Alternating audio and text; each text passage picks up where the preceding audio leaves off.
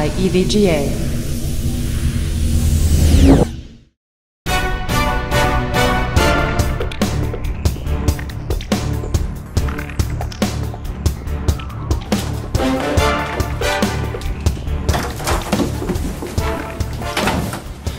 How back? Tiny, where have you been? It's a long story. I think you're gonna have to sit down for this one. Alright, you have some explaining to do.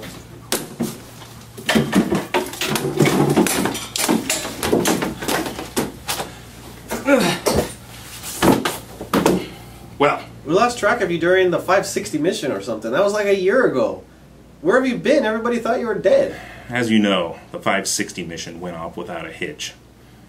But the next mission, the Tibetan coconut farmers, that's a completely different story. But Kingpin told me he lost track of you in September. Where have you been since then? Remember that Star Wars MMO that came out a little while ago?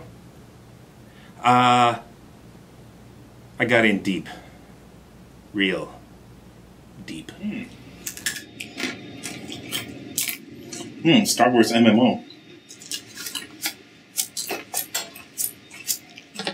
Uh, but that's not the worst part of it. It, uh, it progressed. I have you now. Wait a minute. What? What? Pl- plus 20 light side points?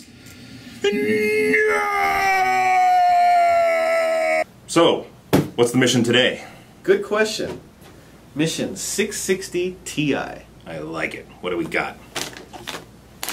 And here it is, the EVGA GeForce GTX 660 Ti. So let's go ahead and open up this box and see what we get on the inside. So right on top here we have an EVGA full-size fold-out poster.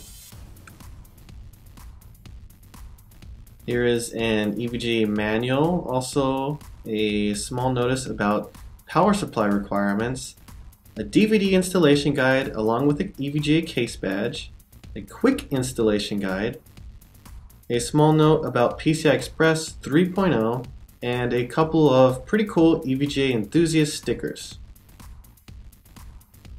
And next we have a Molex to 6-pin power connector. Actually, we have two of these.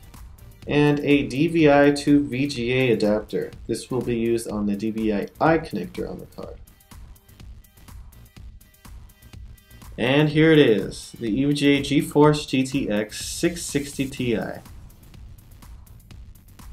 This card has dual DVI, HDMI, and DisplayPort, and you can actually run all of these at the same time. Now let's take a look at the GeForce GTX 660 Ti specs. If you take a look at the clock speeds, you'll notice that the clocks are identical to the GeForce GTX 670, including the CUDA cores. The only difference is the memory bit width. The 660 Ti has a memory bit width of 192 bits compared to 256 bit on the GTX 670. Another cool bonus from EVGA is an exclusive EVGA Precision X skin. This is a GeForce GTX 660 Ti Precision X skin. So let me go ahead and do some overclocking.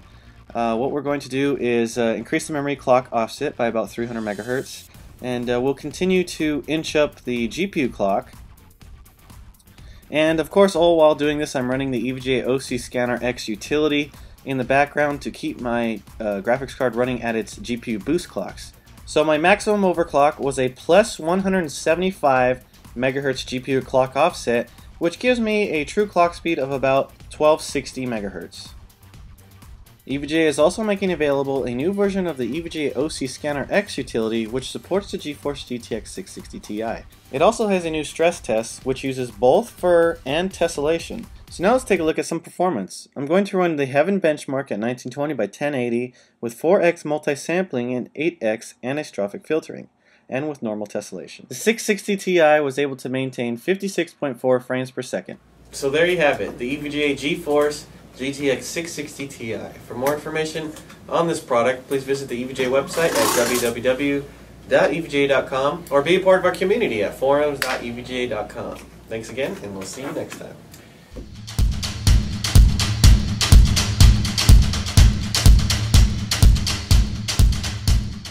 I don't think Kobe has another ring in him. Dude, with Nash and Howard, it's not a problem. Nash and Howard, what about world peace? So, guys, Hey, Mr. Duff, what is thy bidding? Uh, I'm actually just getting a Mountain Dew. I got this, dog. Whoa! Thanks, Tiny. No problem. Careful though, you're gonna get some light side points. What? I just shook it up using the force.